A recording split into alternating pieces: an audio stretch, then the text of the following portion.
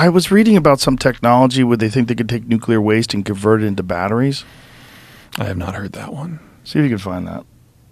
There was a process of uh, uh, processing nuclear waste and converting it into uh, a renewable resource.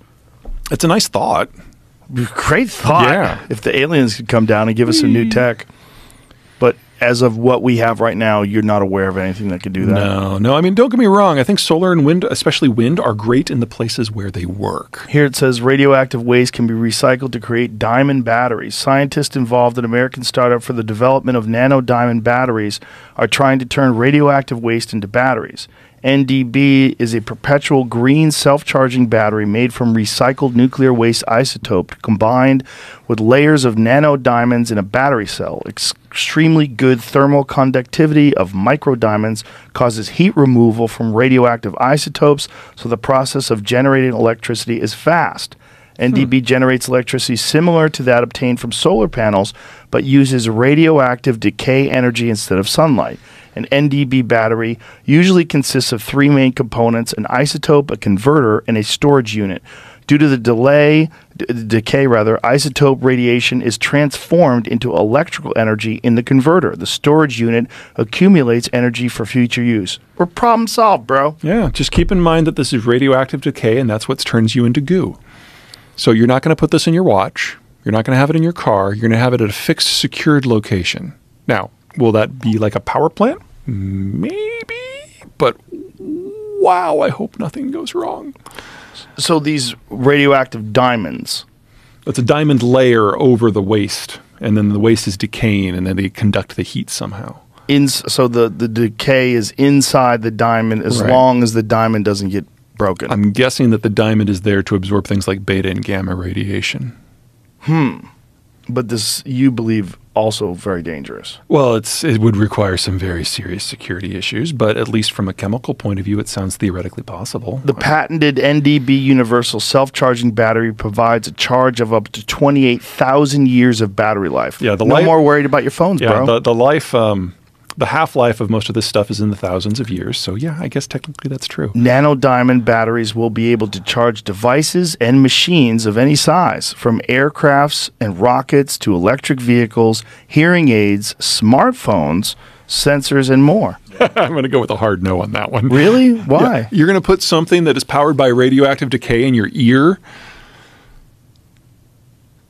But, but- is this uh, an oversimplification? I mean, if you were uh, really well versed in this technology, do you think There's always a chance that if you prevent me with the facts, I'm going to change my mind. But radioactive decay is not something you fuck with.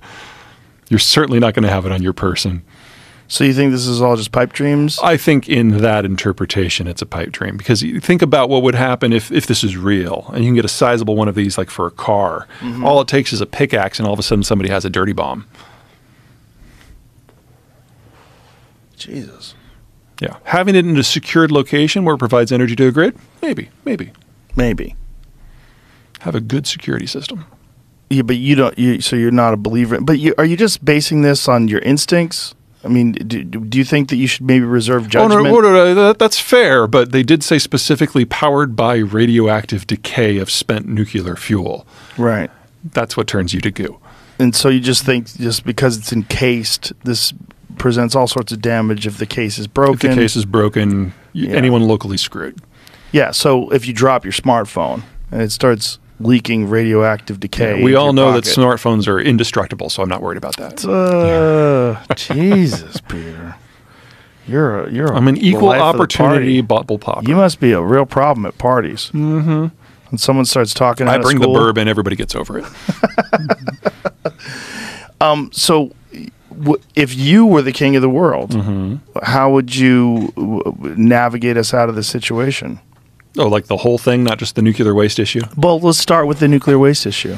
Uh, we need a central repository where the stuff can be processed and the plutonium can be disposed of, or at least incarcerated forever. That is the idea behind Yucca Mountain. But because the U.S. is a federal system with the state and the local authorities having as much power as the federal, it's been locked up in courts ever since it started. Because nobody wants that stuff in their neighborhood. Right. Which is why we want to put it in Nevada, because aside from Vegas, there's nobody in Nevada. Sorry, Reno. Sorry, Reno. So when you uh, if it was like if you did, if somebody said, "Hey, Peter, how do we do? How do we handle this? What would be your steps?" Well, if you want to look at American history, we'd probably put it someplace like Guantanamo, where American federal law doesn't apply.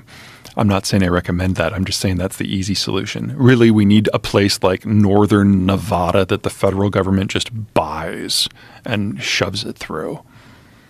And if they did that, do you think that's feasible? I think that's the that's what other countries who have experienced this problem have done. There aren't a lot of them because most of the nuclear industries of the world are linked into the American system when we don't allow it because we don't want the plutonium processing. Hmm. So that's not really right. That would be the, the best approach if you want nuclear power to be a meaningful part of our future. But it would take a radical restructuring of right. law. And it would probably take Congress literally ramming it through the courts. They'd have to change the law so that the states can't fight it, and that triggers a legal fight, which in the United States, as we all know, we love to do. And the, the, but the conversation about nuclear has not been very positive in this country. No, it's not. We, we've only built one new facility in the last 45 years.